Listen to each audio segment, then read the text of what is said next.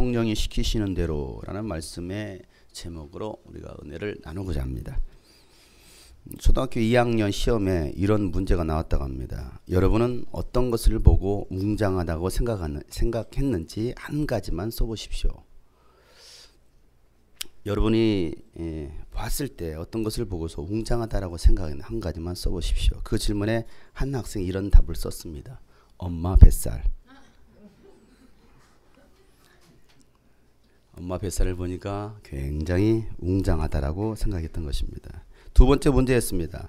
산에서 밥을 지어 먹으면 안 되는 이유는 무엇일까요?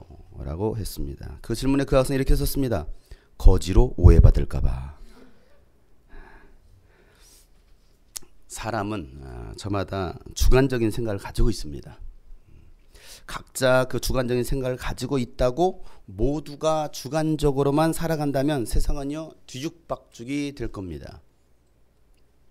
그래서 필요한 것은요 객관성이에요. 객관성은 무엇이냐면 이 공동체가 살아가는 원리, 다른 말로 말하면 방법이죠. 목적이죠. 여러분 대한민국 사회가 무너져가는 이유가 있습니다. 왜 무너가 왜 무너지고 있습니까? 이 대한민국 사회가 무너지는 이유는 각자의 그 주관성을 인정하고 존중해 존중한 어, 존중해 준다고 하면서 이 객관성, 민족성을 잃어버렸기 때문에 그래요. 이 객관성과 이 민족성은요 전통입니다. 본질입니다. 이 전통과 본질을 무시하면 반드시 망합니다. 가문도 보면 다 전통이 있어요. 어느 나라 어느 민족이든 다 그 나라의 전통이 있습니다. 유대 민족이 4천 년이 지난 지금까지 살아남아서 세상을 지배하고 다스리는 이유는 전통을 무시하지 않았기 때문에 그래요. 그들의 전통은요 성경이었습니다. 그들의 전통은요 하나님의 말씀이었습니다. 야훼 신앙을 후손들에게 그대로 전수한 거예요. 어떻게 전수했다고요? 그대로 더하지도 않고 빼지도 않고 그대로 전수합니다. 요한계시록에도 마지막 장에 보면 이 말씀을 더하거나 빼는 자에게는 저주가 있을진저라고 말하고 있습니다. 그대로 전수하는. 노아도 하나님이 말씀하신 그대로 합니다. 창세기 6장 22절에 보면 노아는 하나님이 명하시는 대로 다 하였다. 꼭 그대로 하였다라 말하고 있습니다. 하나님께서 말씀하신 대로 명하신 대로 했는데 어떻게 했다고요? 꼭 그대로 했다라는 거예요. 똑같이 하나도 빼지 않고. 아브라함도 그랬습니다. 이삭도 야곱도 모세도 하나님께서 말씀하신 그대로 합니다. 하나님 모세에게 성막을 만들라라고 말씀하시죠. 명령하시죠. 출애기 25장 40절 말씀에 보면 이 모든 것을 내가 이 산에서 너에게 보여준 모양 그대로 만들도록 하여라. 하나님께서 말씀하시죠. 내가 너에게 보여준 어떤 어떻게 모 보여준 모양 그대로 만들라라는 거예요. 이렇게 보여줬으면 이렇게 똑같이 만들라라는 거예요. 여기가 나방이 있으면 나비를 그려 나방 나비가 있으면 나비를 그려야지 나방을 그려서도 안 되고 여기다 참새를 그려도 메뚜기를 그려서도 안 돼요. 본 그대로 그대로 본 그대로 하나님께서 보여주신 대로 만들라라는 것입니다. 모세 생각대로 모세가 보기 좋은 대로 만들라라고 말씀하신 것이 아닙니다. 하나님께서 명하신 대로 만들라라는 것입니다. 여러분 모세의 주관성은요 철저히 배제되었습니다. 모세는 생각이 없는 사람입니까? 모세에겐 지적 능력이 없나요? 모세에게 결정권이 없습니까? 모세는 감정이 없습니까? 모세는 경험이 없습니까? 그럼에도 불구하고 모세의 주관성은 철저히 배제됩니다. 여러분 모세는 어떻게 합니까? 모세가 어떤 태도를 취합니까? 그대로 하는 거였습니다. 감정이 상해서 분노하거나 불평하지 않았습니다. 자기 생각을 집어넣지도 않았습니다. 하나님의 방법대로 순종합니다. 이스라엘 백성들도 모세의 말을 듣고 그대로 순종합니다. 출애기 39장에 보면 42절 43절에 이제 성막을 다 만들어 놨습니다. 이스라엘 자손은 주님께서 모세에게 명하신 모든 것을 그대로 하여 일을 완수하였다. 어떻게 했다고요? 그들의 그대로 해서 그 일을 완수했다는 것입니다. 똑같이 와 정말 그대로 했네 라는 것이죠. 모세가 그 모든 일들을 점검해 봅니다. 그대로 했는지 다 점검해 보는 거예요. 이건 아니잖아. 이렇게 하면 안 되잖아. 다 점검해 봅니다. 점검해 봤더니 주님 그들이 주님께서 명하신 그대로 하였으므로라고 말하고 있습니다. 어떻게 했다고요? 그대로 하였으므로 그들에게 복을 빌어 주었다. 여러분 순종하는 사람에게 복을 빌어 주지 불순종하는 사람에게 복을 빌어 주는 것 아닙니다. 목회자가 성도들이 불순종하는데도 복을 빌어 주고 있다 한다면 그는 사람의 종이지 하나님의 종은 아닙니다. 성도들이 불순종하고 잘못하고 있을 때 바른 길을 제시하고 때로는 책망을 하고 책지질을 했더라도 옳은 길로 가라고 지도하는 목자가 참 목자라는 것이죠. 그가 바로 그리스의 종, 하나님의 종이라는 것입니다. 그래서 바울은요 갈라디아서 1장 10절 말씀 이렇게 말하죠. 내가 사, 지금 사람의 마음을 기쁘게 하려고 하고 있습니까? 아니면 내가 하나님의 마음을 기쁘게 해드리려고 하고 있습니까? 아니면 내가 사람의 환심을 사려고 하고 있습니까? 내가 아직도 사람의 환심을 사려고 하고 있다 한다면 나는 그리스의 종이 아닙니다라고 말하고 있습니다. 사람의 비유를 마치고 사람의 마음을 살려고 사람의 환심을 살려고 하는 사람이냐 아니면 내가 하나님의 마음을 기쁘, 기쁘게 하려고 하는 종이냐 저와 여러분은 사람을 기쁘게 하는 종들이 아닙니다. 하나님을 기쁘시게 해드리는 사람들이 바로 그리스의 종이라는 사실이죠. 우리 옆에 사람 물어볼까요? 당신은 하나님의 마음을 기쁘게 하고 있습니까? 물어보세요. 아니면 여러분 사람의 마음을 기쁘게 하려고 하고 있습니까?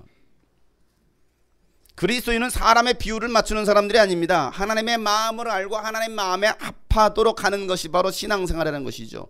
모세는요 하나님께서 명하신 대로 합니다. 출애기 40장 16절에 보면 모세는 주님께서 그에게 명하신 것을 모두 그대로 하였다라고 말했습니다. 모두 그대로 했어요. 하나님은 하나님께서 계획하신 대로 이루시는 분이십니다. 하나님도 말씀하셨다 그냥 번복하시고 이랬다 저랬다 하시는 분이 아니에요.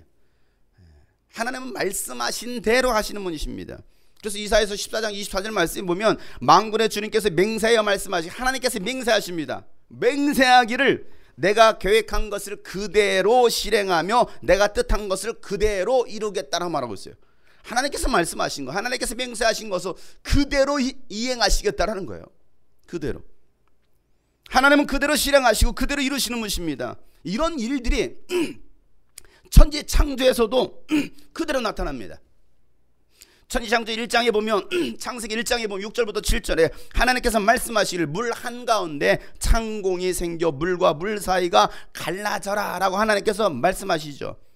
하나님께서 이처럼 창공을 만드시고 만드시고서 물을 창공 아래에 있는 물과 창공에 있는 물을 나누시니 뭐 했어요? 그대로 되셨다.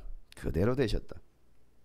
하나님께서 천지 창조하실 때 하나님께서 명하신 그대로 다 되다라는 거예요. 여러분 창세기 1장을 여러분들이 자세히 읽어보시면요. 창세기 1장에서 계속해서 반복되어 반복되면서 나오는 한 문장이 있습니다. 그 문장이 뭐냐면 그대로 되었다예요. 그대로 되었다. 첫째 날, 둘째 날, 셋째 날 됐잖아요. 하나님께서 그 천지창조 창세기 1장에 말씀하시는 그 천지창조하는 그 사건 속에 보면 그대로 되더라. 그대로 되었다. 그대로 되었다. 여러분 만물도 하나님이 말씀하신 대로 순종하더라는 거예요. 하나님께서 말씀하시니까 명령하시니까 그대로 되더라는 것이죠. 피조물은 창조주가 말씀하신 말씀하실 때 그대로 순종하는 자들이 바로 피조물이에요. 말대꾸하는 거 아닙니다. 자기 생각을 말하는 거 아닙니다. 자기 계획을 말하는 것도 아닙니다. 내 생각과 내 계획이 맞지 않아도 하나님께서 말씀하시면 그대로 순종하는 거예요. 이들이 바로 지혜로운 사람이에요. 한결에 그만 돌고 장난감 치우고 씻어 다 이유가 있어요. 자 이제 책 그만 읽고 여기로 와 이유가 있는 거예요. 그냥 아무 이유 없이 그만해 말하지 않습니다. 근데 말을 듣지 않아요. 순종하지 않아요. 아니면 말 대꾸합니다. 그러다가 등짝을 뒤지고도 터지는 거죠. 왜? 성경대로 성경대로. 자문 말씀에 말을 안 듣면 등짝을 후려 패라는 거예요. 등짝. 순종하지 않으면 이유가 있어요. 이유 없이 말하지 않아요. 야, 네 생각 지금 중요하지 않아. 다 이유가 있어. 그러니 지금 하던 일 멈추고 여기 와. 하던 일 멈추고 씻어. 그 말을 들으면 지혜로운 자녀는요 순종할 때 칭찬을 받습니다. 근데 말을 듣지 않아요. 아니 잠깐만 내가 할 일이 있다고 자기 생각이 나올 일이 아니에요. 자기 계획이 나올 일이 아닙니다. 그렇다고 뭐그 아이의 감정을 무시하는 것입니까? 아닙니다. 다 이유가 있는 거예요. 하나님께서 말씀하실 때는 다 이유가 있는 것입니다. 우리의 생각과 우리의 계획과 때로는 내 감정도 계획, 그 모든 것들도 맞지 않다 할지라도 뭐 하는 거예요? 하나님께서 말씀하시니까 그 말씀에 순종하는 것이죠.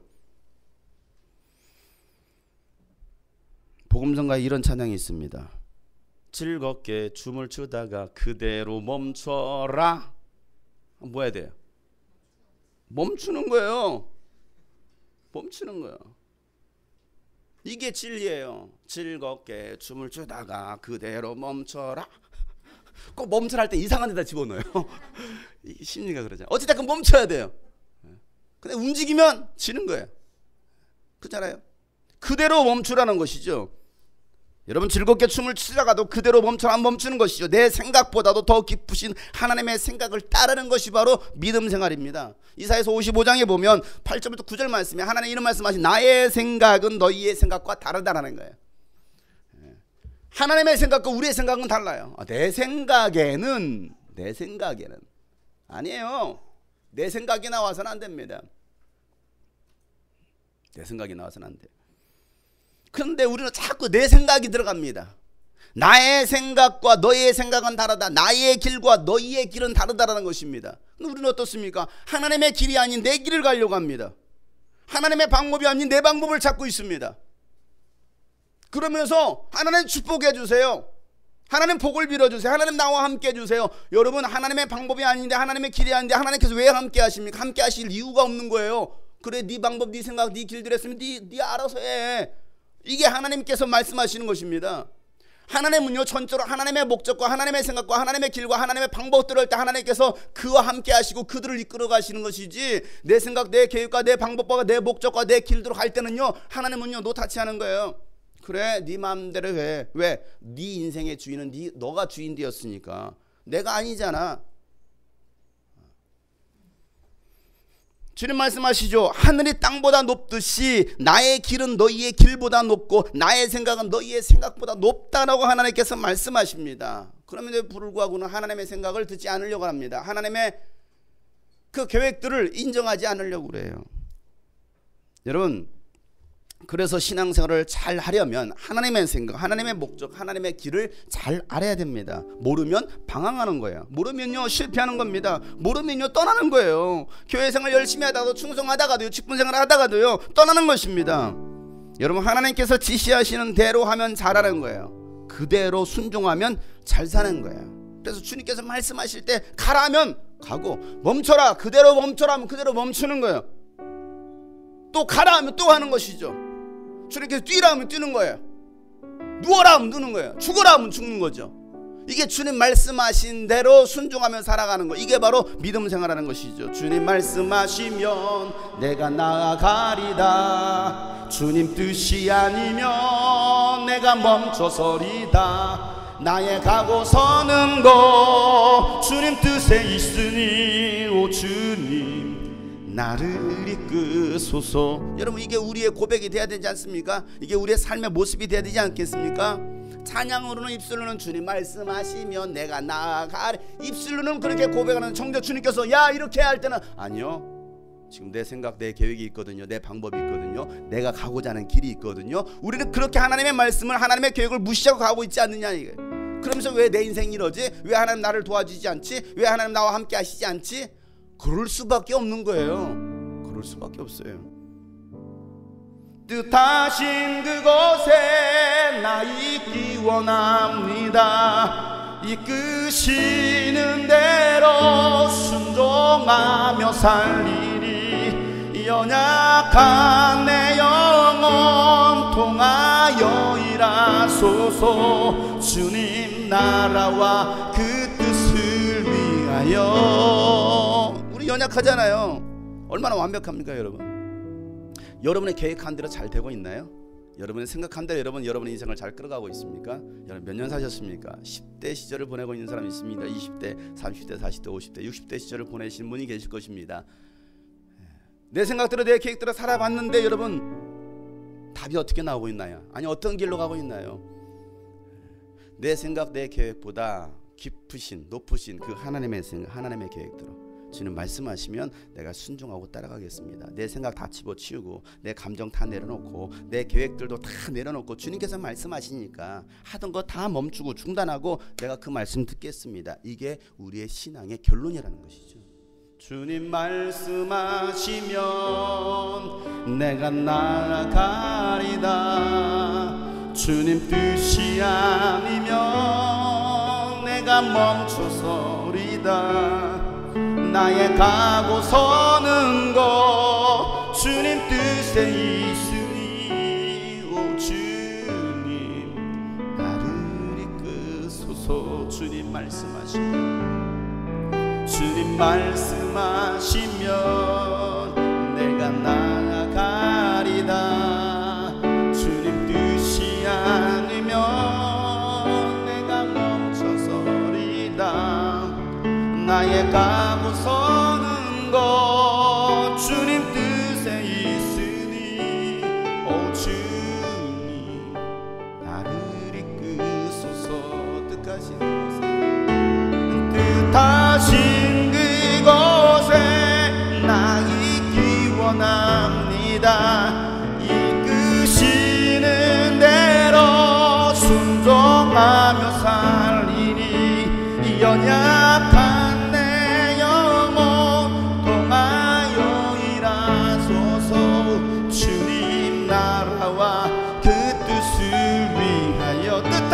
그곳에 나 있길 원합니다. 뜻하신 그곳에 나 있기 원합니다.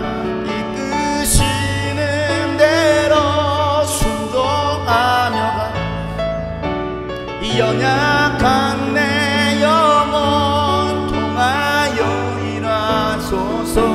주님 나라와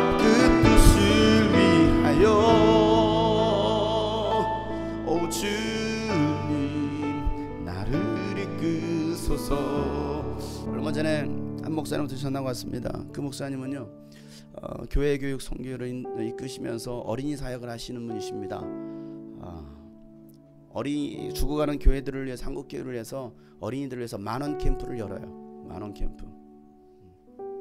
전국을 순회하면서 어, 한 10번 정도 여름에 여름에 한 번 하는데 여름에 한 10번 정도 전국을 순회하면서 그 만원 캠프를 어, 여시는 교회 목사님입니다. 그 교회도 우리 교회처럼 그렇게 큰 규모가 아니에요. 성도들 얼마 되지 않습니다. 근데 그 사역을 감당하고 있습니다. 근데 그 목사님이 전화 와가지고 목사님 여름 캠프 어떻게 잘 준비되시죠? 네, 제가 거기 강사로 가, 가잖아요. 어, 이번에는 대구로 가기로 했어요. 강사 섭외하면서 이런 말씀을 하시더라고 목사님 유스비전은 잘 되시죠? 어, 홍보 안 해도 잘 보이고 잘 되시죠? 기도밖에 없죠. 하나님 보내주시는 영혼 붙들고 가는 거죠 뭐. 아 그래요. 제가 또 물어봤습니다. 목사님, 아, 이 사역하기 참 힘드시죠? 아유 힘들죠. 힘들죠. 근데 그 목사님이 어, 매년 여름 사역을 준비할 때마다 기도하신대요. 하나님 안 하면 안 됩니까? 이게 기도입니다. 하나님 올해부터는 만원 캠프 안 하면 안 됩니까? 라는 질문하신대. 왜냐하면 할 때마다 한 몇천만 원씩 마이너스가 됩니다. 흑자가 아니고 적자예요. 할 때마다 적자가 납니다. 그리고 할 때마다 버거워하는 성도들이 결국은 떠나기도 합니다. 교회를 떠나요. 그래서 그 여름 한번 하고 나면 몇 천만 원씩 마이너스가 나니까 거기에 아이들, 어린 아이들, 청소년들, 청년들 다 동원되거든요. 어른들도 다 동원됩니다. 거기 가보면요, 거기도 그 전교인 스텝이 돼요. 근데 그것을 한 달 동안 합니다. 물론 하루 하루 집회지만 한 달 동안 합니다. 저는 하루 집회를 이틀을 써야 되거든요. 왜 전날 가서 다 어, 세팅해야 되죠. 그러고 나서 준비를 해야 되니까 이틀을 쓰는 거예요. 그런데 그 일을 한 달 내 하고 있습니다. 모든 성도들이. 예. 그러다 보니까 동참하지 않는 성도들이나 이런 분들은 하다가 아 목사님이 교회를 지켜야지 교회를 세워야지 너무 밖으로만 놔두는 거 아니야? 어, 뭐 어린 사역 중요하다지만 우리 교회가 적장을 하는데 교회가 어려워지는데 꼭 이걸 계속 해야 돼 하면서 결국 버티다 어, 버티지 못한 사람들은 교회를 떠나기도 해요. 그래서 여름 사역이 마이너스가 나고 나서 또 1년 동안 그 다음 여름 될 때까지 또 다른 일로 막 충당을 해가지고 다시 이제 제로로 상승을 만들어놔요. 그리고 또 여름 사역 준비가 돼요. 이 시즌이 됩니다. 5월달. 5월달 꼭 전화가 오거든요. 근데 또 막 장소 섭외하고 뭐 하면서 다 계산을 하죠. 계산을 해도 답이 안 나요. 어차피 적자인데. 그래서 하나님께 하나 질문한다고 하나님 이거 해야 됩니까? 하나님은요 그거에 대해서 아무런 답변 안 하신대요. 그럼 저한테 하시는 얘기가 목사님 하나님 아무런 답변을 안 하시는 것은 하라는 얘기 아닐까요? 그래서 또 합니다라고 얘기를 하시더라고요. 예, 그 말씀을 어, 제가 들으면서 생각해봤습니다. 유스비전 캠프 10년째 됐잖아요. 할 때마다 정말 어려웠어요. 한 번도 어렵지 않은 순간이 없었습니다. 매 순간마다 어렵습니다. 여러 가지로 때는 뭐 재정적인 문제로 때로는 어, 일할 사람이 없어서 때, 때로는 여러 가지 주변 환경으로 인해서 수많은 일들 어, 수많은 일들로 계속 어려움들이 찾아왔습니다. 그럴 때마다 캠프 끝나고 나면 저 하나님께 기도합니다. 다음에는 안 하면 안 될까요? 또 여름 사역을 준비하며 겨울 사역을 준비하면서 하나님 해야 됩니까? 일할 사람도 없는데 아니 협조도 안 하는데 이런 생각을 해요. 왜? 이게 현실이니까. 이걸 또 어떻게 짊어지고 가야 되죠? 이거 해야 됩니까? 그러면은 여지없이 하나님은 말씀을 안 하십니다. 그리고 다른 환경을 통해서 이렇게 말씀해 주십니다. 뭐라고 말씀하시냐? 여러 여러 사람들이 이제 생각지도 않은 분들이 연락이 와요. 목사님, 유스비전 캠프를 통해서 저희가 하나님을 만나게 되었습니다. 우리 교회가 살아나게 되었습니다. 목사님, 이건 꼭 해주셔야 됩니다. 제가 그분들한테 물어본 것도 아니었어요. 꼭 제가 고민하고 기도할 때마다 그분들이 전화를 하고 연락을 하고 페이스북을 통해 때는 카톡을 통해서 연락이 와요. 뜬금없이. 제가 이제 낙심이 되고 포기가 되고 이제 그만하고 싶다. 이제 안 했으면 좋겠다. 그냥 교회 사역만 열심히 하지 뭐. 어. 이두 가지 사역을 하기가 참 쉽지가 않은 거예요. 그래서 올해는 안 했으면 좋겠습니다. 하는데 여지없이 하나님은 하라는 사인을 주십니다. 내 생각은 안 했으면 좋겠는데. 왜? 뻔히 알거든요. 어떤 일들이 일어날 것을 뻔히 알거든요. 어려워질 것도 압니다. 더 어려워질 것도 압니다. 갈수록 어려워질 것도 압니다. 또 그 일로 인해서 떠날 것도 압니다. 그러나 그 일, 그 일 이후에 어떤 일들이 또 일어날지도 압니다. 네, 하나님은 하라고 말씀하시죠. 그러니까 오늘도 연약한 나를 통해서 일하실 하나님을 기대하면서 연약한 내 영혼 통하여 일하소서 주님 나라와 그 뜻을 위하여 이 고백을 할 수밖에 없는 거예요. 내 나라 내 뜻, 내 뜻이 아닙니다. 나의 나의 목적이 아니에요. 나의 일이 아니에요. 하나님의 나라와 하나님의 뜻, 하나님의 목적을 위해서 오늘도 좀 연약하지만 이 교회를 통해서 일하실 하나님, 나를 통해서 일하실 하나님을 기대합니다. 하고서 저는 또 순종하고 갈 수밖에 없는 이 일을 누가 할 거냐? 이 일을 누가 할 거냐? 그래서 여러분 이번 캠프 주제가 뭡니까? 오늘 뭐 선포 주일은 아니지만 캠프 주제가 무엇이냐? 누가 나를 위하여서 가겠느냐?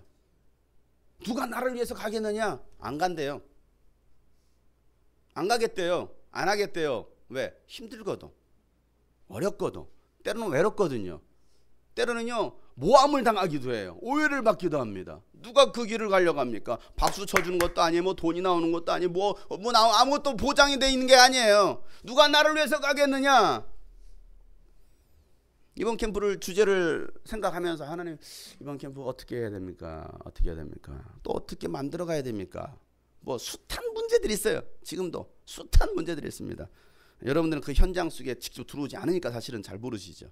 그냥 캠프 시즌 되면 아 이제 한가 보다 아 내일부터 캠프 가네 이렇게 아시지 사실은 몇 달 전부터 계속 그것 때문에 고민하고 고민하고 어떻게 됩니까? 하나님 어떤 길을 여시기를 원하십니까? 계속 고민하고 묻습니다. 기도합니다. 근데 이번 캠프 하면서 누가 나를 위해서 가겠느냐? 누가 나를 위해서 가겠느냐? 가려고 안 한다 이거 그때 주여 나를 보내소서. 주여 나를 보내소서.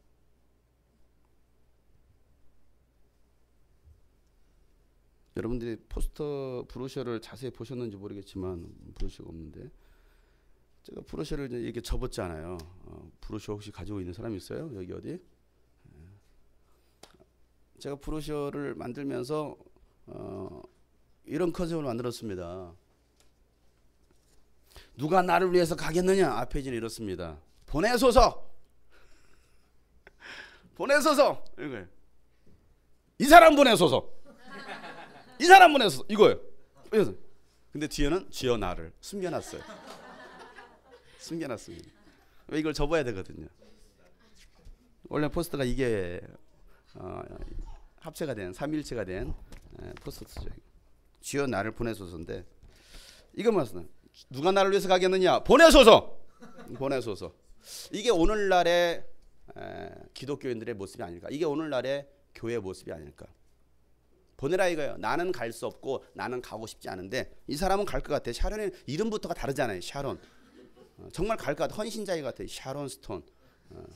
그러니 얘는 보내야 돼 샤론의 꽃 예수. 뭐 예수로 가득한 어, 하나님의 사람이니까 보내야 되는 거야 어, 샤론. 나는 아닙니다. 나는 아닙니다. 이 사람, 저 사람 보내소서.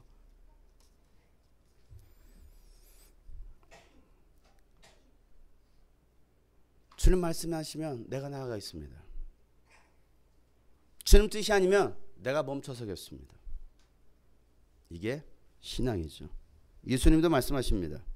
요한복음 13장 17절 말씀에 너희가 이것을 알고 그대로 하면 복이 있다. 읽어볼까요? 시작. 너희가 이것을 알고 그대로 하면 자 예수님 뭐라고 말씀하십니까? 너희가 이것을 알고 그대로 하면 복이 있다. 믿음은 하나님의 말씀을 신뢰하는 것입니다. 믿음은 하나님을 아는 것입니다. 아는 만큼 순종하게 되어 있어요. 아는 만큼. 하나님 모르면 절대 순종이 안 됩니다. 내가 하나님을 신뢰하고 하나님을 아는 만큼 순종하게 되어 있습니다. 믿음은 그대라는 것입니다. 무리를 걸으라. 지금 말씀하시면 걷는 거예요. 손을 내밀라 말씀하시면 내미는 것입니다. 실로암으로 가서 씻으라 말씀하시면 실로암까지 가서 씻는 것입니다. 순종이 이정을 만들어낸 것입니다. 순종이 새 창조를 이루는 것입니다. 내 생각과 내 경험과 맞지 않아도 하나님께서 순종하라 하실 때 순종하면 하나님께서 일하시는 거예요. 내가 일어난 게 아닙니다. 나는 그분의 길을 따라갈 뿐이에요. 하나님께서 일하십니다. 지난주에 어, 기독교 한국 침례회 침례교 부부 목회자 성장 대회를 다녀왔습니다. 한 600여 명의 목회자 부부가 모여서 말씀과 기도로 또 자신과 그 목회를 돌아보는 시간이었어요.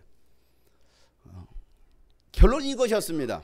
결론은 이것이었습니다. 목회의 성공은 대형 교회를 이루고 건축을 하고 유명한 목사가 되는 것이 아니라 하나님의 목적을 알고 하나님의 길을 따라서 하나님의 방법대로 하는 것이 바로 목회의 성공입니다라는 것이었어요. 여러분 신앙생활의 성공은요 내 생각, 내 방법, 내 감정, 내 계획대로 하는 것이 아니라 하나님의 목적을 알고 하나님의 방법대로 하는 것이 바로 신앙생활입니다. 그럴 때 하나님은 길을 보여주십니다. 그리고 하나님께서 그 일을 진행하시더라는 것이죠. 목사의 일을 하는 것이 아닙니다. 하나님의 일을 하는 것입니다. 나의 일을 하는 것이 아닙니다. 하나님의 일을 하는 거예요. 그 일 하라고 하나님 우리를 부르셨고 여러분에게 생명을 주신 거예요. 예수님도 예수님 자신의 일을 하신 것이 아니었습니다. 하나님 아버지의 일을 하셨습니다. 그 일을 하기 위해서 하나님께서 지금 무슨 일을 하고 계시는지를 주시하시면서 아버지께서 하시는 일을 보는 대로 보고서 그대로 따라서 하신 분이 바로 예수님이십니다. 요한복음 5장에 보면 5장 19절부터 20절 말씀 보면 예수께서 그들에게 말씀하시다. 내가 진정으로 진정으로 너에게 말한다. 아들은 아버지께서 하시는 것을 보는 대로 따라할 뿐이요. 라고 말하고 있습니다. 어떻게 한다고요? 아들은 아버지께서 하시는 것을 보는 대로 그대로 따라서요. 그대로 따라서 합니다 아무것도 마음대로 할 수 없다. 아버지께서 하시는 일은 무엇이든지 아들도 그대로 한다. 아버지께서는 아들을 사랑하셔서 하시는 일을 모두 아들에게 보여주시기 때문이다. 또한 이보다 더 큰 일을 일들을 아들에게 보여주셔서 너희를 놀라게 하실 것이다. 하나님과 친밀하지 않고서는요 절대 하나님이 하시는 일을 알 수 없습니다. 볼 수 없습니다. 하나님과 사이가 좋지 않고서는요 절대 하나님이 하시는 일을 알 수 없어요. 그냥 눈빛만 봐도 알아야 되잖아요. 눈빛만 봐도 뭘 원하는지. 예. 결혼을 해서 부부 생활을 이제 한 뭐 10여 년 이상 하신 분들은 눈빛만 봐도 아 남편이 뭘 원하는지 아내가 뭘 원하는지를 다 알죠. 어, 모르시나요? 모르시는 분들은 좀 뭔가 문제가 있어요. 가정 생활에 부부 생활에 문제가 있어요. 적어도 10년 이상 어, 뭐 저도 이제 10년 이상 해보, 해보니까 딱 보면은 그냥 말을 안 하고 있는데 지금 그냥 차 타고 가고 있어요. 차 타고 가고 있는데 제가 무슨 생각을 하고 있습니다. 그 생각을 하고 있는데 옆에서 이거 말이야. 그, 그, 그 얘기를 꺼내요. 아무 말도 안 했는데. 아무 말도 안 했는데. 제가 홍승 형제를 생각하고 있습니다. 홍승우 형제의 직장 문제를 놓고 생각하고 있는데 갑자기 승우 형제가 직장에 취직해서 그 말을 해. 어? 내 속에 들어왔어. 내 생각이 들려. 이런 이런 거죠. 그 경험들 해보셨죠? 안 해보셨나요? 왜? 알아요 이제는 말하지 않았는데도 그냥 전혀 아무 상관 그냥 고속도로 위에 그냥 운전하고 가고 있었는데 똑같은 생각하고 똑같은 말을 꺼내고 있습니다. 아 이번 캠프는 어 나도 그 생각하고 있었는데 똑같은 생각이 나와요. 왜? 너무 친밀해진 거죠 이제. 하나님과 친밀해지면요 하나님의 생각을 압니다. 하나님의 생각을 알아. 그런데 아 우리 무슨 하나님의 생각이 뭔 생각인지 몰라. 너무 친밀하지 않아. 너무 멀리 간 거죠. 너무 멀리 간 거. 매 순간마다 하나님께서 무슨 일을 하시는지 보지 않고서는 우리는 아무것도 할 수 없습니다. 예수님도 아버지께서 하신 것을 보지 않고서는 아무것도 마음대로 할 수 없다라고 말씀하시는 거예요. 그래서 예수님도 아버지께서 하신 그대로 따라서 하다라는 거예요. 그대로 따라서. 저 한번 그대로 따라서 해보실래요? 안 따라하시는 분 뭐예요? 자, 지금도 보면은 다 달라요. 제가 지금 어떻게 했는지 어떤 어느 위치다가 손가락을 어떻게 휘었는지 이거까지 다 보시면 정확히 보시면 저하고 똑같이 할 것입니다. 근데 자기 생각이 들어간 사람이 이렇게 할 거예요. 왜 저는 이렇게 안 했거든요. 저는 이렇게 했거든요. 그잖아요. 이렇게. 어떤 사람이 이렇게 할 거예요. 그러니까 이게 뭐냐면 자세히 보지 않는 거예요. 자세히 관찰하지 않는 거죠. 자세히 관찰해 보세요. 해 보세요. 똑같이 해야 돼요. 똑같이 하는 거예요. 예수님이 이렇게 하신 거예요. 하나님께서 이렇게 하고 계신다고 똑같이 하시는 거죠. 하나님의 이루가 똑같이 하시는 거예요. 예수님 하나님께서 하시는 일을 보고서 그대로 따라서 했다라는 거예요. 이게 신앙생활입니다. 저 여러분은 하나님께서 무슨 일을 하고 계시는지를 보고 계십니까? 하나님이 지금 우리를 통해서 무슨 일을 하시길 원하시는지 여러분 느끼고 계십니까? 이 교회를 통해서 여러분의 가정을 통해서 여러분의 삶을 통해 하나님께서 어떤 일을 하기를 원하시는지 여러분 알고 계십니까? 모르면 못 따라가요. 못 합니다. 많은 기독교인들이요. 자기 생각대로 하고 있습니다. 인본주의 종교생활 하고 있습니다. 많은 목사들이 인본주의 목회를 하고 있습니다. 하나님이 하나님의 일이 아닌 목사의 일을 하려고 합니다. 그 목사의 일을 위해서 교인들을 부려먹습니다. 목사의 일을 하기 위해서 교인들을 이용해요. 하나님의 일이 아닙니다. 하나님의 일이 아닌 자기 일을 하고 있습니다. 많은 기독교인들이.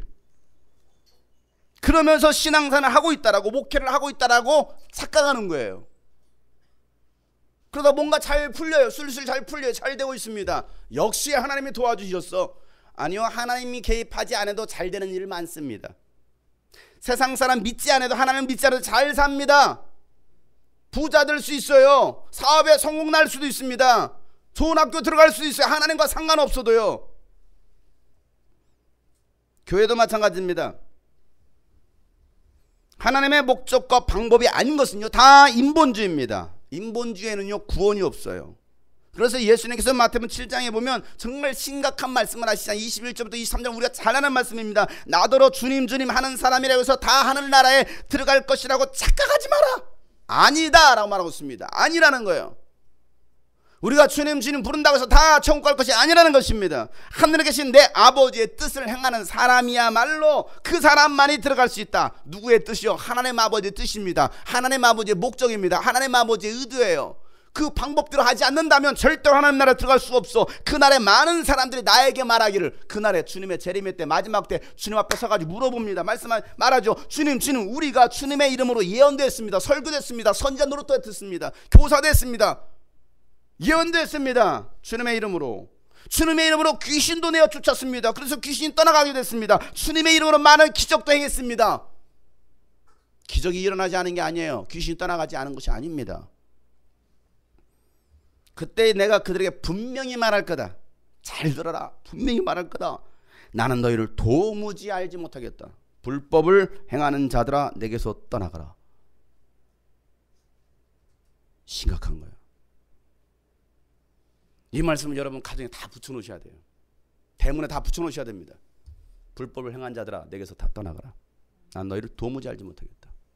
근데 우리는 이 말씀을요 심각하게 받아들이지 않습니다. 정말 심각한 말씀인데. 그러면서 우리는 다 구원받는다고 생각합니다. 다 천국가라고 생각합니다.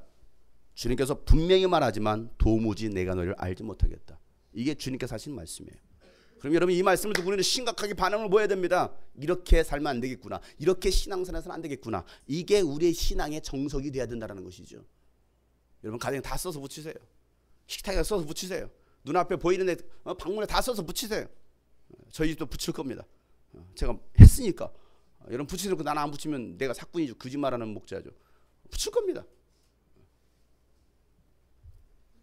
우리는 마지막 시대를 살고 있습니다. 마지막 시대에 우리가 할 일이 무엇입니까? 믿음을 지켜내는 것입니다. 종말의 때에 끝까지 견디는 사람의 구원을 얻을 것이라 주님께서 말씀하셨어요. 어느 때 어, 마지막 때가 되면 어떤 일이 일어나겠습니까? 예, 제자들이 예수님께 물어봤을 때 예수님께 이런 일들이 일어날 거야라고 말씀하시면서 마태복음 24, 24장 13절 말씀에 그러나 끝까지 견디는 사람은 구원을 얻을 거야. 테러가 일어날 거야. 전쟁이 일어날 거야. 지진이 일어날 거야. 막 쓰나미가 일어날 거야. 수많은 재난들이 일어날 거야. 여러분 지금 재난 시대에 살고 있잖아요.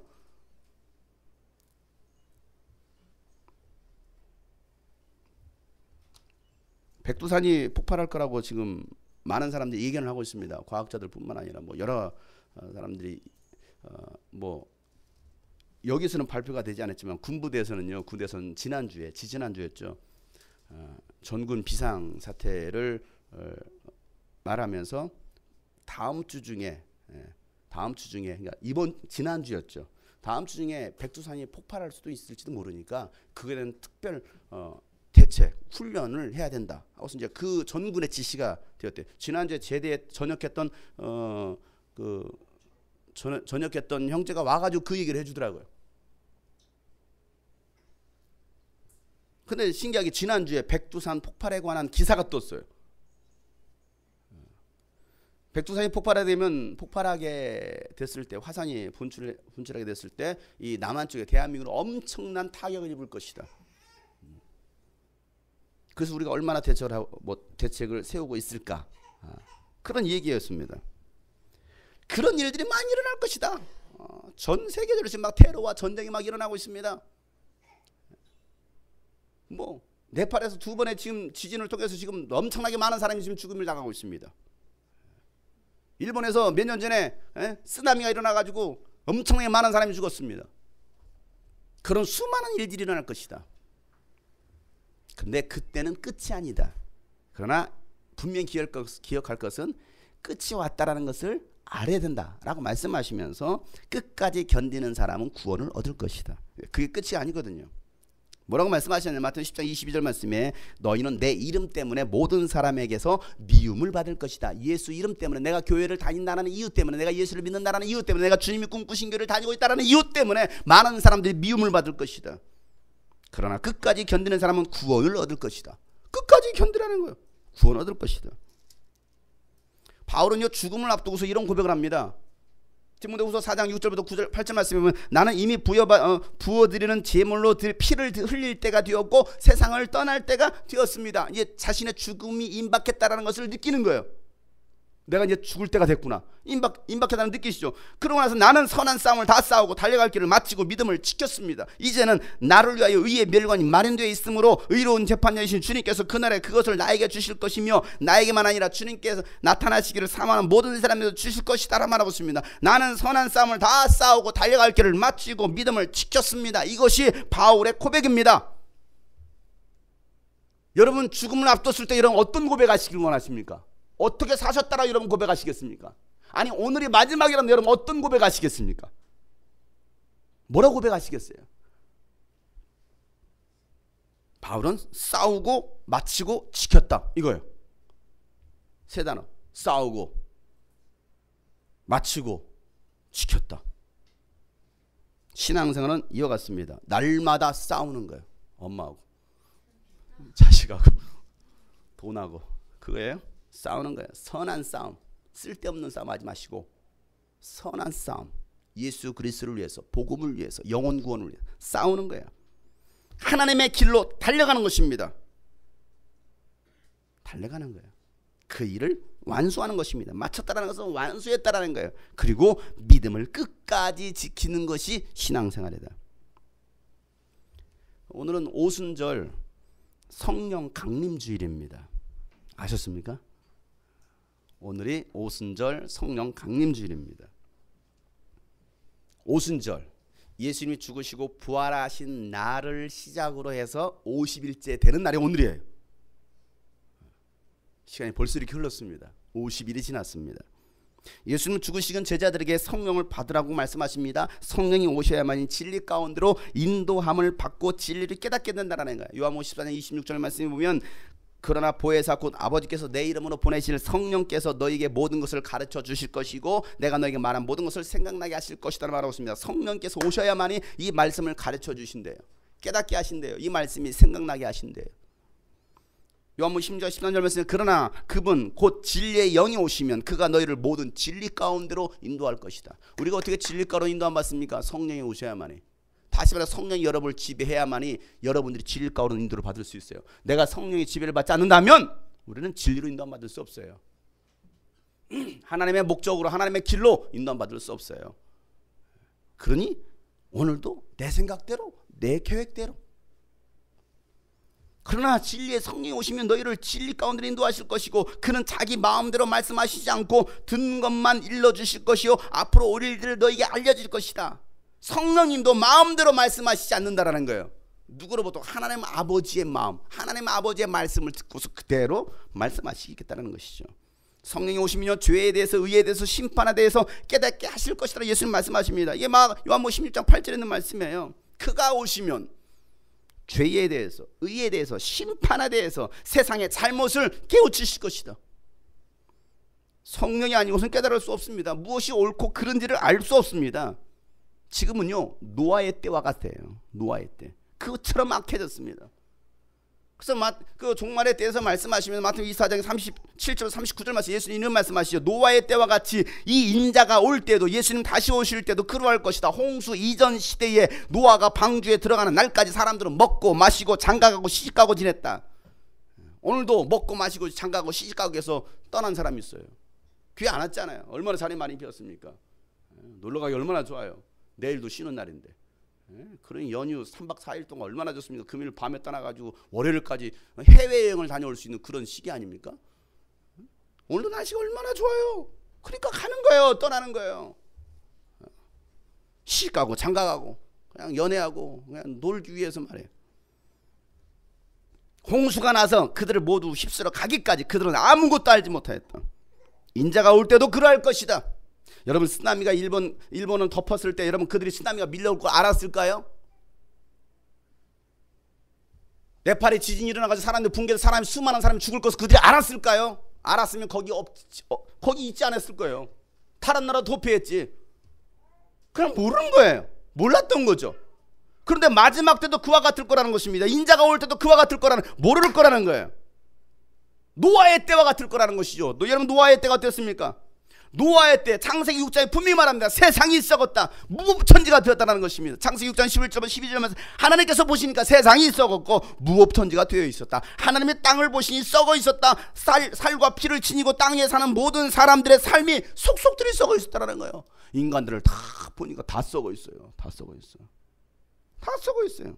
땅에 사는 모든 사람들의 삶이 속속들이 썩어 있어요. 지금의 바람은 노아의 때 같습니다. 온통 썩어 있습니다. 정치도 썩었어요. 종교 교회도 썩었습니다. 인간의 도덕과 윤리도 다 썩어 있습니다. 뭐 하나 제대로 되어 있는 게 없어요. 다 썩어 있어요. 그러면 심판의 때라는 거예요. 소수의 인권을 존중한다는 이유로 차별금지법을 주장하면서 동성애를 인정하고 동성 간의 결혼을 합법화하자고 합니다. 지금 이 시대가 그렇습니다. 어떤 정신 나간 시장은요, 대한민국을 아시아에서 최초로 동성애법을 통과시켜서 동성 결혼을 합법화하는 국가가 되었으면 좋겠다라는 발언을 미국에서 했어요. 누군지는 모르겠어요. 올해 6월 9, 6월 9일 서울시청 광장에서는요 동성애 축제인 퀴어 축제 허가해 줬습니다. 그리고 6월 13일에는요 서울 도심 곳곳에서 동성애자들의 알몸 카퍼레이드를 실시할 겁니다. 구경 가세요. 동성애자들이 남자가 남자끼리 키스하고 즐기는 것을 보러 가세요. 여자가 여자끼리. 예정이랍니다. 6월 13일에. 서울 곳곳 다섯 곳에서 어느 곳인지 궁금하신 분들은 네이버, 네이버에게 물어보시기 바랍니다. 지금 그런 시대입니다. 아버지 결혼할 상대 데리고 왔습니다. 아 누군데? 이 사람입니다. 남자를 데리고 왔어요. 그래 축하한다. 역시 대범해. 앞서가 역시 너는 너, 넌 생각이 정말 앞서가는 아이야. 너를 축복한다. 이건 아니죠. 동성애는 죄입니다. 동성애는요 병입니다. 병이라는 사실을 아셔야 됩니다. 정신병입니다. 하나님은 남자와 여자를 만드시고 남자와 여자가 결혼하게 하셨지 남자가 남자가 여자와 여자가 결혼하라고 말씀하신 적이 없습니다. 하나님은요 동성애를 불과 이왕으로 심판하셨습니다. 심판의 때가 멀지 않았습니다. 세상이 완전히 썩었습니다. 대한민국 그렇습니다. 이 법이 통과되면 어, 이렇게 발언하면 저는 바로 잡혀갑니다. 아니면 수천만 원의 벌금형을 받게 되겠죠. 왜? 법을 어긴 사람이 되기 때문에. 얼마 전에 교육부에서요 각 교육청에다가 아동 학대 예방 및 신고 의무자 교육 실시라는 공문을 보냈습니다. 거기에는 이런 내용이 있었습니다. 부모는 자녀들에게 부모의 종교를 강요하거나 가르치는 행위는 아동 학대이다. 부모의 신앙을 전수하는 것이 아동 학대가 되어서 자녀가 부모를 고발하면 처벌을 받아야 하는 시대가 되었다라는 거예요. 그리고 우리 김수경 자매님 절대 자녀들에게 강요하지 마세요. 고발할지 몰라요. 고발할지 몰라요. 우리 봄이에게 절대 신앙 강요하지 마세요. 내 신앙 따라오지 않는다면 너는 절대 내 딸이 아니야. 강요하면 봄이 얼굴 보세요. 인상 더럽잖아요. 고발합니다. 그런 시대가 되었어요. 여러분 이 정도로 세상이 악해졌습니다. 그래서 예수는 마지막 때 이런 일들이 일어날 것에 정확히 말씀하시는 거예요. 그때 사람들이 너희를 환란에 넘겨줄 거라는 거예요. 여러분 자녀가 여러분을 넘겨줍니다. 여러분 부모가 여러분을 넘겨줄 겁니다. 너희를 죽일 것이다. 누가요? 자식이 부모를 고발해서 죽일 거라는 거예요. 또 너희는 내 이름 때문에 모든 민족에게 미움을 받을 거라는 것입니다. 예수 이름 때문에 많은 사람이 걸려서 넘어질 거라는 이것 때문에 걸려 넘어져요. 어떻게 어떻게 하지? 이런 발언하면 안 되겠네. 그래도 발언하고서 믿음을 지킬 수 있는 사람들 서로 넘겨주고 서로 미워할 거라는 것입니다. 그 시대가 올 거라는 거예요. 근데 이미 왔어요. 우리나라 우리나라가 지금 아직 시행이 안 되고 있죠. 다른 나라 이미 왔습니다. 지금은 정신 차리지 않으면 믿음을 지킬 수 없습니다. 마지막 시대에 믿음을 지킬 수 있는 유일한 방법은요. 성령 충만함입니다. 성령의 지배를 받고 성령 인도를 받아야 됩니다. 성령이 아니고서는 예수를 주라고 고백할 수가 없습니다. 성령이 아니고서는 하나님의 목적대로 살아갈 수 없습니다. 성령이 아니고서는 영적 신앙생활을 할수 없는 거예요. 그러니 오늘 구할 것이 바로 성령의 충만함이에요. 성령이여 나에게 충만하게 임하여 주십시오. 성령이여 나를 지배하여 주십시오. 성령이 나의 삶을 주도하여 주십시오. 이게 우리의 기도가 되야 된다는 사실이죠. 예수님이 죽으시고 부활하신 그 예수님은요 제자들의 성령을 받으라고 말씀하십니다. 그리고 제자들과 40일 동안 함께 계시면서 하늘로 승천하시기 전에 제자들의 마지막으로 말씀하시는 것이 사도행 1장 4절부터 5절 말씀입니다. 예수께서 사도들과 함께 잡수실 때 그들에게 이렇게 분부하시기를 너희는 예루살렘을 떠나지 말고 내가 내게서 들은 아버지의 약속을 기다려라. 요한은 물로 침례를 주었으나 너희는 여러 날이 되지 않아서 성령으로 침례를 받을 것이다. 어디를 떠나지 말래요? 예루살렘을 떠나지 말래요. 주님이 꿈꾸신 길을 떠나지 말래요. 너희는 여기를 떠나지 마라. 한바사. 졸고 있을 때가 아니야. 제일 앞자리에 앉아서 졸고 있을 때가 아니야. 구미한테 전염됐어. 너희는 예루살렘을 떠나지 말라. 그리고 아버지께서 약속하신 성령을 기다려라. 여러분 예루살렘을 떠나지 말라는 이 말 우리는 그냥 쉽게 생각할 수 있습니다. 그러나 여러분 이 예루살렘을 떠나지 말라는 말은요 제자들에게는 엄청난 위기예요. 왜 위기입니까?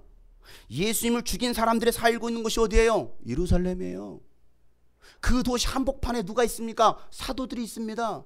그런데 며칠 전 소문이 나서 뭐라고 소문 났습니까? 예수님 부활하셨대. 그리고 부활하신 예수님 많은 사람들 만났대. 그 소문이 예루살렘 전역에 퍼지기 시작했습니다.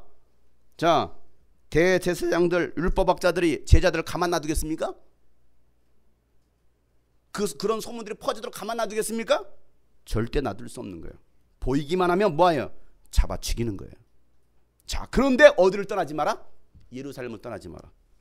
하루도 빨리 예루살렘을 떠나야 돼. 목숨을 유지하려면, 목숨을 건지려면. 그런데 예수는 떠나지 마. 여기 있어. 이거 말씀하시는 거예요. 죽을 수도 있는데요. 발각되면 죽을 수도 있는데요. 그런데도 예수님은 떠나지 말라라는 거예요. 신앙은요, 위기입니다. 믿음은요, 위험을 무릅쓰고서라도 순종하는 것입니다. 죽을 수도 있고 어떤 일들이 벌어질지 모르지만 예수님께서 말씀하셨으니까 그대로 순종하는 것이 바로 믿음이라는 거예요. 예수님은요 계속 말씀하시죠 8절 말씀에 그러나 성령이 너에게 내리시면 너희는 능력을 받고 예루살렘과 온유대와 사마리아에서 그리고 마침내 땅끝에까지 이르러 내 증인 될 것이다 그러니 너희는 이곳을 떠나지 말고 아버지께서 약속하신 무엇을 받으라 성령을 받으라는 거예요 성령을 받으라 이 말씀 마치시고 예수님 하늘로 올라가셨습니다 그리고 제자들은 이 말씀을 믿고서 뭐 하느냐 떠나지 않고 마가의 다락방에 모여서 기도하기 시작합니다 처음엔 500명이 모였어요. 엄청나게 많은 사람이 모였습니다. 어떻게 다락방에 500명이 모여요? 엄청 다락이 커요. 가보시면 알아요. 6월 25일 갑니다. 나가고 있습니다. 그 마가의 다락방 정말 커요. 그곳에 500명이 모였습니다. 그런데 하루 이틀 시간이 지나니까 사람들이 빠져나가기 시작했습니다. 왜? 성령이 바로 오시지 않았거든요. 어떤 역사가 바로 일어나지 않았거든요. 믿음이 없는 사람들은요 빠져나갑니다. 교회도 마찬가지입니다. 처음엔 모였다가 믿음 없으면 하나둘 빠져나갑니다. 기도 모임에도 처음에는 열심히 참여하다가 빠져나갑니다. 전도 모임도 처음에 참여했다 여러 이유로 핑계를 대고서 빠져나갑니다. 지속하지 못해요. 처음 마음, 처음 열정, 처음 사명이 끝까지 가지 못합니다. 결국 120명만 남습니다. 그날은 오순절이었어요. 예수님 부활하시고 50일이 되는 날이었습니다. 그날 성령이 바람처럼 불처럼 임하셨습니다. 여러분 누구에게 임했습니까? 믿고 끝까지 기다리고 기도한 사람들에게 임했어요. 여러분들이 그런 사람들 되시기 바랍니다. 하나님은 이스라엘 백성들에게 지키라고 명령하신 절기가 있어요. 6월절과 무교절과 77절 장막절입니다. 이게 대표적인 절기입니다. 6월절은 예수님 우리 죄를 위해서 어린 양으로 오셔서 십자가에서 죽으신 날입니다. 그러니까 지금은 또 50일 전 50일 부활하시 53일 50일 전이죠. 2000년 전. 그 6월절에 예수님 죽으셨습니다. 무교절은 무엇입니까? 6월절부터 일주일 동안 누룩을 넣지 않은 그 떡, 빵을 먹으면서 그 누룩을 누룩을 넣지 않은 그 빵을 일주일 동안 먹으면서 뭔가를 기억하고 뭔가를 생각하는 절기가 바로 무교절이에요. 뭘 생각합니까? 예수님의 십자가의 고난을 생각하라는 거예요. 빵에 아무것도 안 들어갔어. 설탕도 안 들어가고 맛있는 아무것도 안 들어갔어. 그냥 밀을 갈아서 그냥 빵을 만들었을 뿐이야. 얼마 씹어 아, 이걸 제가 왜 먹어야 맛도 없는 것을 맛 없어요. 그러나 하나님 말씀 일주일 동안 이걸 씹어서 먹으라는 거예요. 너희들이 이스라엘 어, 그 애굽에서 400, 430년 동안 어떻게 광, 그 종사를 했는지 그리고 광야 40년 동안 어떻게 너희들이 살았는지를 기억하라는 것입니다. 그걸 뜯어 먹으라는 거예요. 무교병 맛 없습니다. 예수 그리스도의 십자가 사건 맛 없습니다. 재미 없습니다. 그러나 그것을 계속 뜯어먹으면서 음미하라는 것입니다. 예수 그리스도의 고난을 계속 음미하라는 것입니다. 이게 신앙생활이라는 거예요.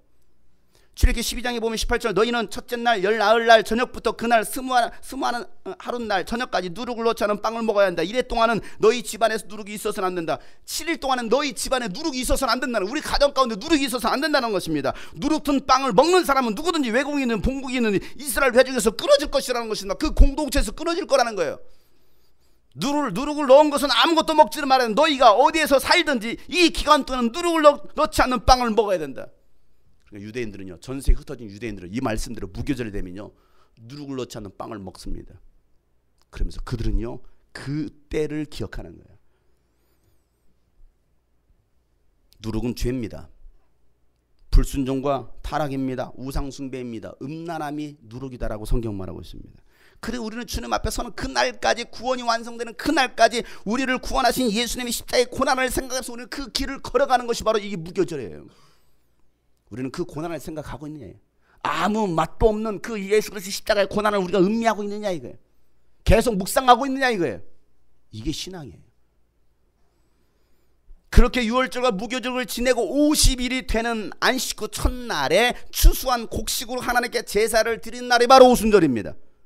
이 날을 너희들은 또 기억하라는 거야. 이 오순절을. 레기 23장 15절부터 보면요. 너희가 안식일 다음 날 곧 곡식단을 흔들어서 바친 그 날로부터 일곱 주간을 꼭 차게 세고 7주를 꼭 차게 세고 7주에 49일 그리고 거기에다가 일곱 번째 안식일 다음 날까지 더하면 50일이죠. 꼭 50일이 될 것이다. 그때 너희는 핵곡식을 주어서 곡식 제물로 바쳐야 된다. 바로 그날에 너희는 모임을 열어야 된다. 오늘같이 우리가 이 모임을 엽니다. 그 모임은 너에게 거룩한 것이므로 그날은 생업을 돕는 어떤 일도 하지 말라는 거예요. 장사하지 말래요. 돈 벌지 말래요. 일하지 말래요. 이것은 너희가 사는 모든 곳에서 대대로 깊이 지켜져야 될 규례다 말하고 있습니다. 예수님 부활하시고 나서 50일째 되는 날이 오순절. 신기하게 예수님은 그 오순절 말씀하시면서 오순절에 성령께서 임하셨어요. 오순절은요 천 열매로 하나님께 제사를 드린 날입니다. 사도행전의 오순절은요 성도들이 성령의 천 열매로 드려진 사건입니다. 오순절 성령의 그 천 열매 사건을 시작으로 대추수가 시작되었어요. 지금은 마지막 추수의 때입니다. 주님 곧 오십니다. 이 유대인의 절기를 여러분 우리 기독교인들이 꼭 기억해야 됩니다. 9월에 있을 장막절을 기대하시길 바랍니다. 왜? 이 장막절에 예수님 오실 수 있습니다. 오신다라고 말 안 했어요? 오실 수 있습니다. 왜? 성경의 절기대로 이루어져 가고 있거든요. 그런데도 정신을 못 차려요. 한바씨는 졸고나 있고 구미는 옆에 머리나 크크 긁긴 하고 있고 말씀이 전혀 안 들어와. 그런가 보다. 남의 얘기지 뭐. 그건 유대인의 얘기지 뭐. 나와는 상관이 없어. 꼭 기독교인들은 뭐 유대인의 절기 알아야 되나? 성경을 다 버려야죠. 마지막 추수의 때입니다. 120명 성도들은요 이 마가이 나라에서 기도하면서 성령의 충만을 받습니다. 그리고 성령이 시키시는 대로 방언으로 말하기 시작하니라. 자 오늘 본문 말씀이 드디어 오늘 본문 말씀인 거예요. 사등 2장 4절. 자, 이 얘기하려고 지금까지 왔습니다. 2장 4절 시작. 그들은 모두 성령으로 충만하게 되어서 성령이 시키시는 대로 각각 방언으로 말하기 시작하여 여러분 신앙생활은요 성령이 시키시는 대로 하는 것입니다. 성령이 시키시는 대로 결론입니다. 이거 읽고 결론이에요. 성령이 시키시는 대로 내 생각, 내 경험, 내 방법들 하면요 실패합니다. 그러나 하나님의 목적, 하나님의 방법, 하나님의 길로만 가면 성공합니다. 여러분 왜 신앙생활하다 방황합니까? 왜 신앙생활하면서 여러분 들쑥날쑥합니까? 성령이 시키시는 대로 하지 않으니까 그래요. 왜 그렇게 한 대는 그렇게 열심을 내다가 왜 어느 순간 무너지고 교회를 떠납니까? 성령이 시키시는 대로 안 하는 거예요. 성령의 충만함이 없어요. 잃어버렸습니다. 다른 길로 가고 있습니다. 다른 방법을 찾고 있습니다. 다른 방법은 없습니다. 다른 길도 없습니다. 오직 하나님의 목적이 나의 목적이 되고 하나님의 방법과 길로 갈 때 여러분 자유함이 있어요. 그럴 때 여러분 기뻐할 수 있어요. 그러나 우리가 성령이 시키시는 대로 하나님께서 말씀하신 대로 하지 않는다면 교회를 다녀도 별로 즐겁지 않아요. 기쁨 없습니다. 이게 무거운 짐이 돼요. 오늘도 무거운 짐을 지고 가실 분도 계실지 몰라요. 왜? 이 음성을 듣지 못하는 거예요. 성령의 음성을 듣지 못하는 거예요. 성령께서 시키신 여러분 성경 보세요. 창세기 1장부터 끝장까지 요한계시까지 더 하거나 빼지 말라. 시키시는 대로 말씀하신 대로 그대로 그대로 그대로 이게 성경이에요. 신앙생활은 그대라는 겁니다. 그럴 때 우리 안에 주님이신 평안이 있고 자유함이 있고 그래 여러분 스테반 매를 맞으면서도 평안하잖아요. 기뻐하잖아요. 돌에 맞아 죽으면서도 바울도 그 매를 맞고 양손과 양다리에 착고가 채워지만 그 로마 감옥에 갇혀 있으면서도 뭐합니까? 깨어나서 뭐합니까?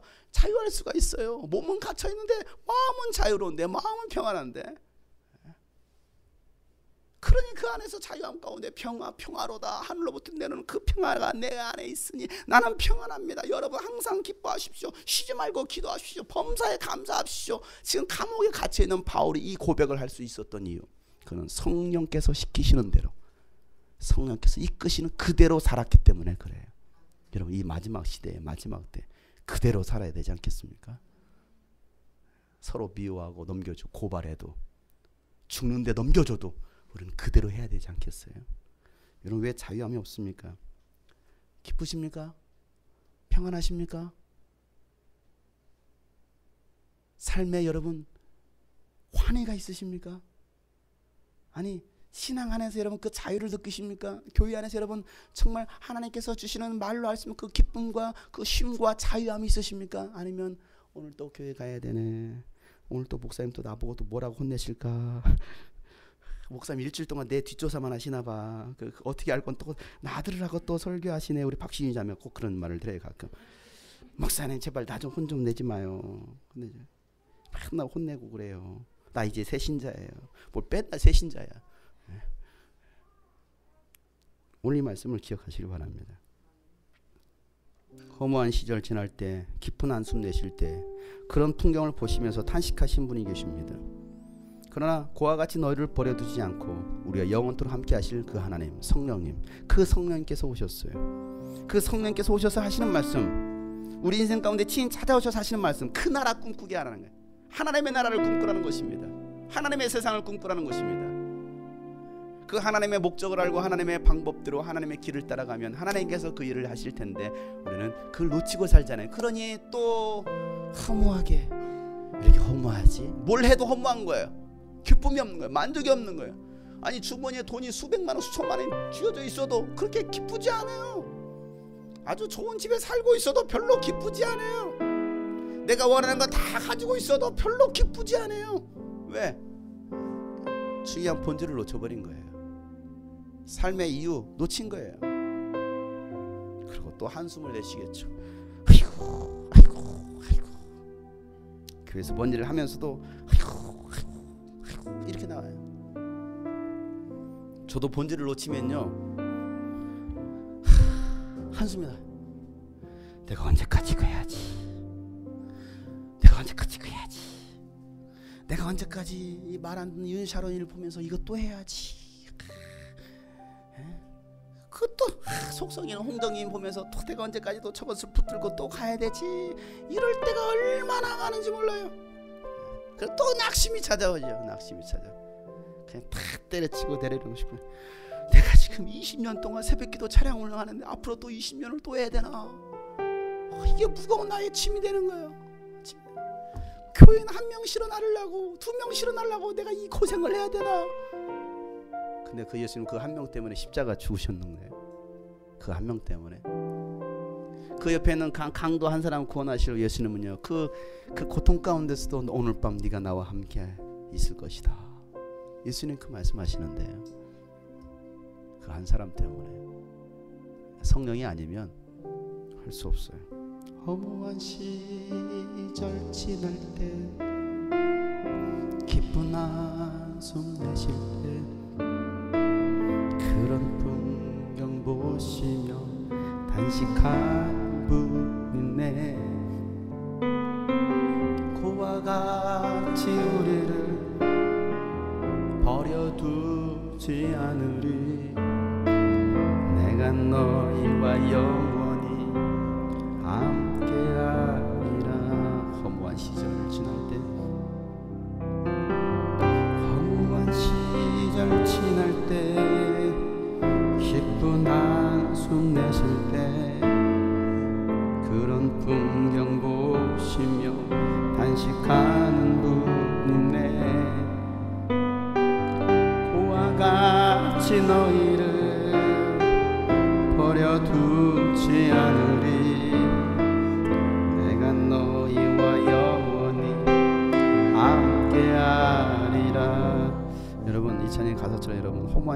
보내고 계십니까?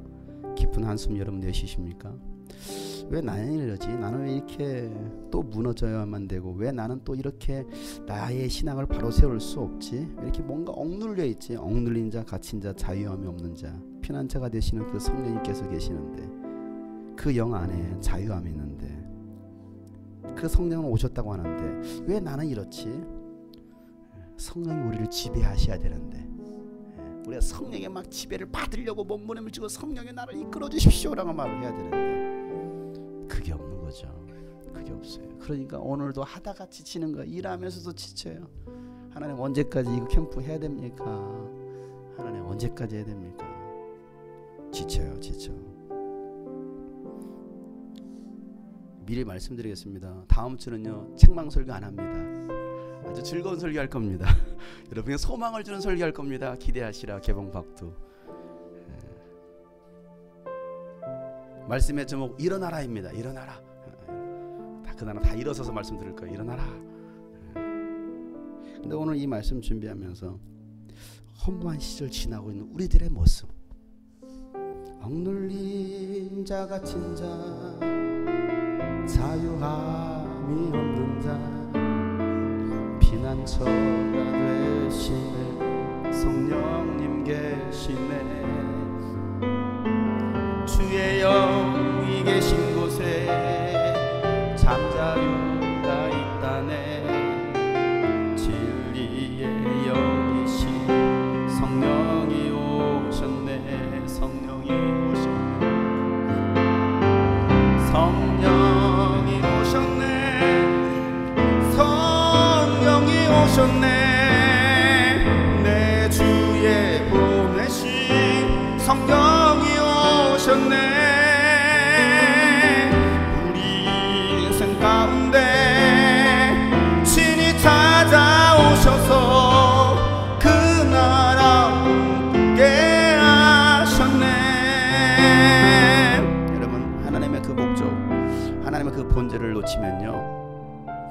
주는 것들은 잠깐의 기쁨이 있을 수 있어요. 만족이 있을 수 있습니다. 그 안에 행복도 느낄 수 있습니다. 정말이에요. 정말이에요. 지금은 저렇게 우리 이기섭 형제가 딸 낳았다고 안고서 막 굉장히 행복해합니다. 그 얼굴 오르륵 깎은 그것만 봐도 나를 보고서 웃어지는 그 모습만 봐도 모든 것을 세상을 다 얻은 것 같은 행복을 느낍니다. 그러나 여러분 4년만 지나 보세요. 이놈의 새끼를 때려 죽여 말어. 이런 마음이 막 속에서 막 분노가 치밀어 올 때가 하루가 아니고요 매일같이 제 얘기입니다. 제 얘기. 매일같이 아침마다 해림아! 한결아! 적어도 해림이 13년 전에는요. 아이고 예뻐라. 해림이가 아이고 예뻐라. 그러나 그의 만족도 기쁨도 3년이 지난 뒤에는 우리 부모님들 그러죠? 아니에요? 그걸로 끝나지 않아요.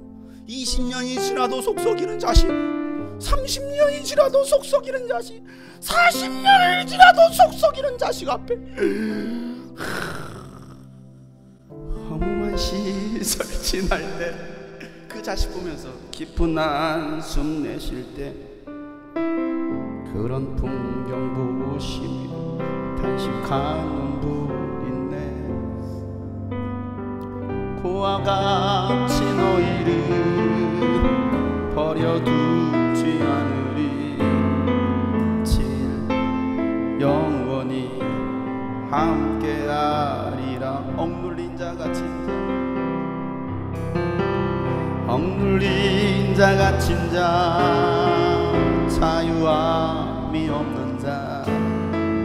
피난처가 되시는 성 여러분 그 피난처가 되신 성령님께 나오세요. 성령님을 의지하세요. 주의 영이 계신 곳에 여러분 참 자유가 있습니다. 참 자유가 있다네. 진리의 영이신 진리의 오셨네. 성령이 오셨네. 성령이 오셨네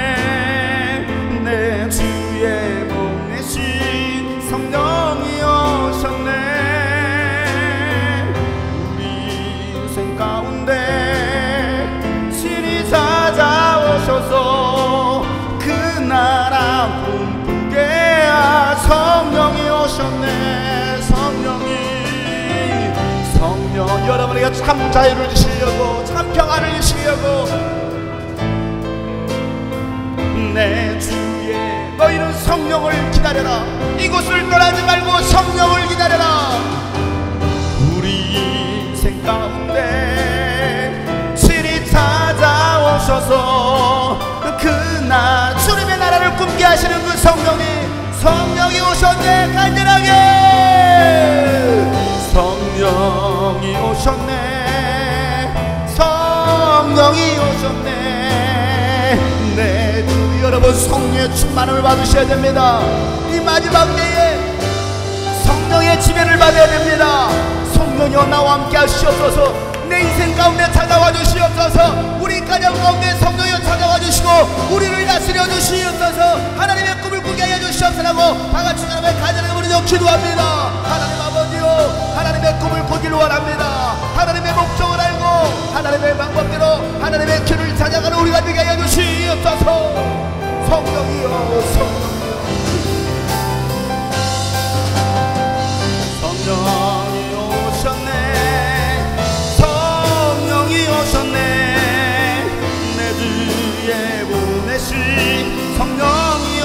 오셨네 우리 인생 가운데 신이 찾아오셔서 그 나라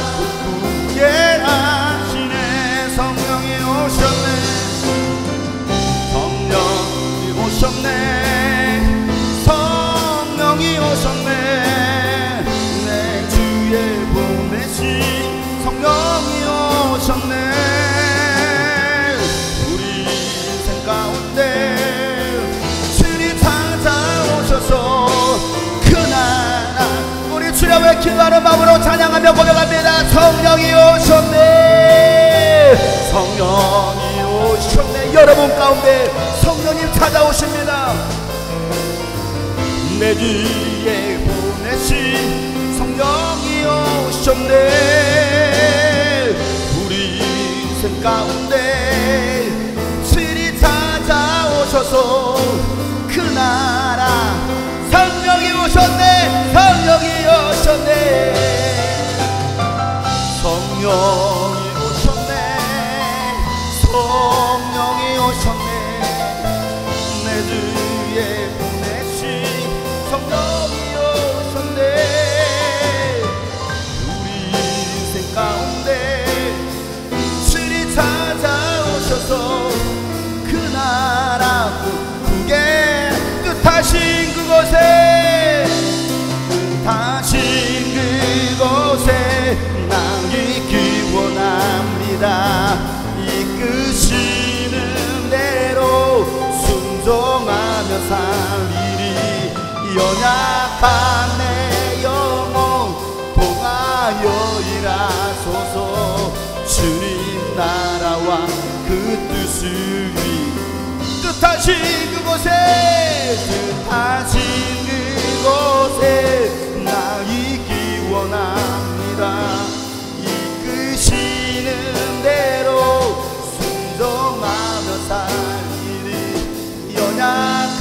내 영혼 통하여 일하소서. 주님 나라와 그 뜻을 위하여. 오 주님 나를 이끄소서. 오늘 말씀 기억하면서 주님 말씀하시며 주님 말씀하시며 내가 나가리다 여러분 그대로 행하는 사람이 됩시다. 주님 뜻이한 성령께서 행하시는 대로 내가 멈춰서이다. 나의 가고 서는 것 주님 뜻에 있으니 오 주님 나를 이끄소서. 주님 말씀하시며 주님 말씀하시며 내가 나아가리다 뜻이 아니면 내가 멈춰서리다.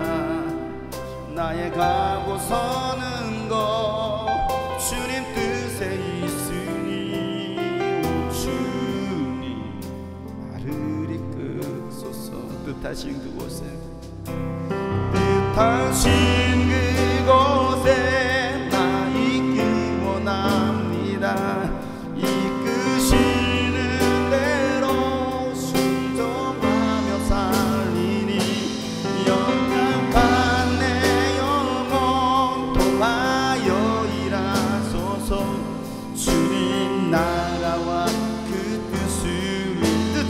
그곳에 나 있기를 원합니다